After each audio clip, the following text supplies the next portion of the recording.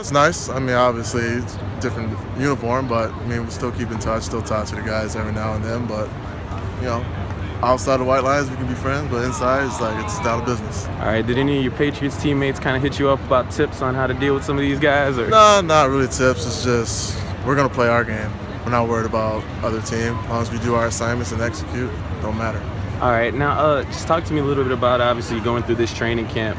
Uh, just was it nice to get another team in here? Saints or?